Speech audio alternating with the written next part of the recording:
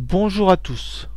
Je vous propose aujourd'hui avec le logiciel OpenOffice Writer de voir la mise en page d'un document et notamment de savoir modifier ses marges.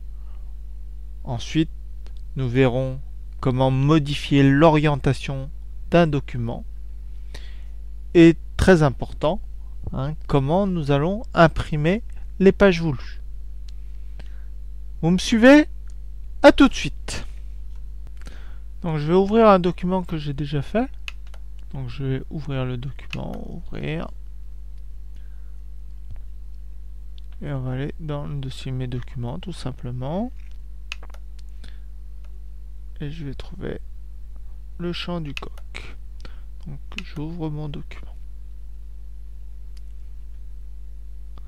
Donc le but de l'opération ici, ça va être de modifier nos marges par défaut, hein, ici avec OpenOffice Writer, les marges sont à 2,5 partout. Hein, c'est-à-dire 2,5 à gauche, 2,5 à droite, 2,5 en haut et 2,5 en bas. Nous, ce que nous allons vouloir faire, hein, ça va être de modifier ces, ces marges. Donc, qu'est-ce que je vais faire? Première chose, je vais venir dans le menu Format. Et ensuite, je vais venir sur page. Je clique sur page et il y a une euh, fenêtre qui apparaît. Alors ce sera peut-être pas exactement ce que vous allez avoir hein, la première fois que vous allez le faire.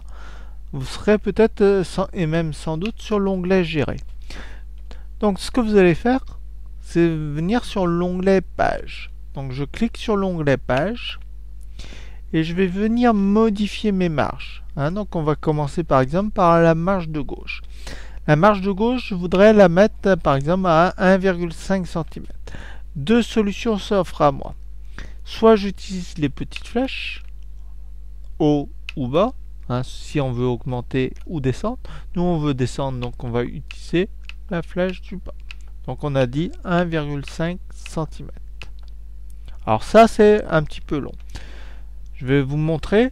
Maintenant, moi je veux modifier ma marge de droite et la mettre à 1 cm. Qu'est-ce que je vais faire? Rien de plus simple. Je vais mettre en surbrillance mes 250 cm et je vais taper le chiffre 1. Par exemple, la marge du haut, je voudrais la mettre à 2 cm. Je sélectionne et je mets ma dimension. Et la marge du bas, par exemple, je veux la mettre à 2,30 cm. Et ben, je mets mon chiffre ici et je sélectionne. Une fois que euh, mes marges sont à la bonne dimension, on n'a plus qu'à valider sur OK. Voilà, j'ai modifié mes marges de mon document. Alors pour bien voir mon document, hein, donc j'ai bien des marges ici, à droite et à gauche. Alors si on s'aperçoit que nos marges ne sont pas bonnes, on peut venir modifier de nouveau. Donc il suffit de revenir sur format, page et de réindiquer les bonnes dimensions. Par exemple, je veux des marges à 1 cm à gauche et à droite hein, pour être voilà, 1 cm. Et par exemple, je veux 2 cm en bas. Et bien, je vais faire OK. Donc, j'aurai des marges exactes en haut et en bas. Et, de même dimension à droite et à gauche. Alors maintenant, on va voir comment modifier l'orientation de notre, de notre feuille. Pour l'instant, nous sommes en, mode ce qu'on appelle le mode paysage. Maintenant, euh, ce que je peux vous montrer avant, donc ici, quand on vient sur aperçu, on est hein, ici, c'est ce qu'on appelle le mode portrait. Pour sortir de ce mode, je ferme mon aperçu.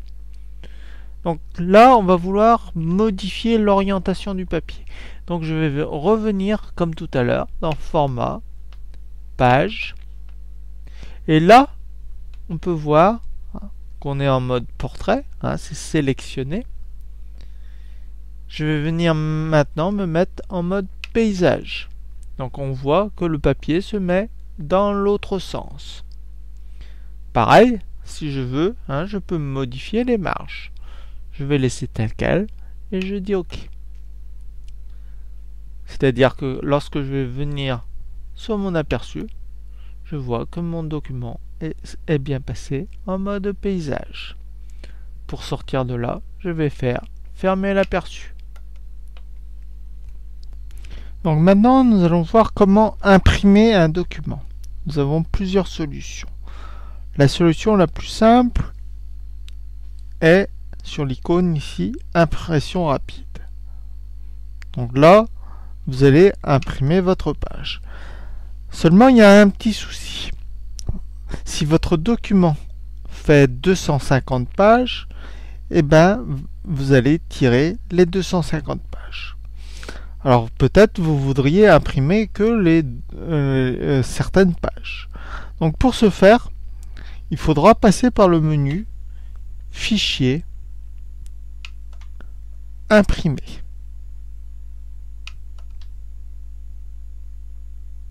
Donc là, une fenêtre apparaît. Donc on sélectionne l'imprimante sur laquelle on veut imprimer. Et puis on va dire quelles, sont les pages qu'on veut imprimer. Donc ici, je viens cliquer sur page et j'indique que je veux par exemple imprimer la page 7. Et là, j'ai plus qu'à appuyer sur imprimer.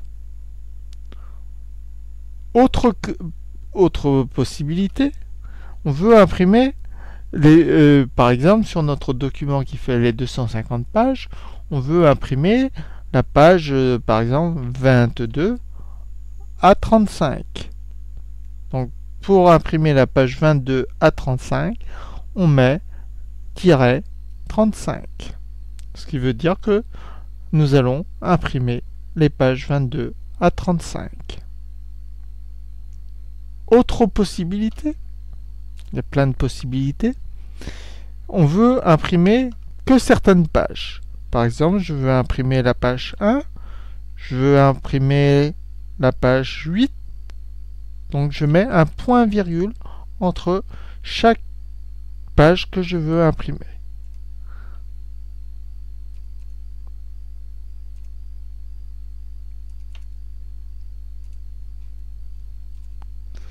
Donc vous voyez, hein, donc 1.8. Donc là, ça vous indique les, les pages que vous allez euh, imprimer. Ici, vous pourrez indiquer le nombre d'exemplaires que vous voulez imprimer. Donc soit vous euh, utilisez les petites flèches ou vous, vous pouvez indiquer le nombre d'exemplaires que vous voulez. Et là, vous n'avez plus qu'à appuyer sur imprimer.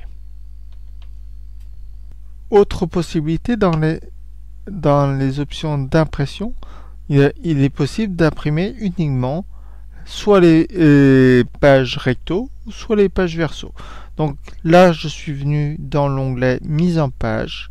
Et dans mise en page, soit j'utilise la, page verso. Et là, soit j'indique le, euh, toutes les feuilles. Ou hein, je choisis les feuilles que je veux. D'accord? Je vous remercie de votre attention et vous